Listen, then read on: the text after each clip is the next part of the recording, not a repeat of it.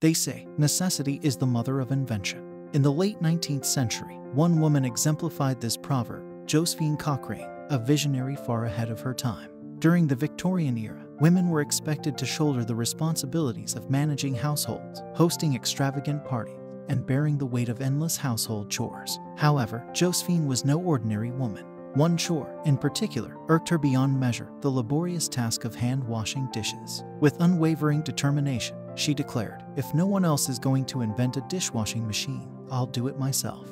Her revolutionary invention featured specially designed racks for securely holding dishes, high pressure jets of hot soapy water, and a motor that ensured every dish received a thorough and impeccable clean. In the year 1886, Josephine Cochrane finally unveiled her groundbreaking creation to the world, the very first practical dishwasher. Josephine Cochrane's invention serves as a testament that a person, driven by a relentless desire for a better way, can reshape the world.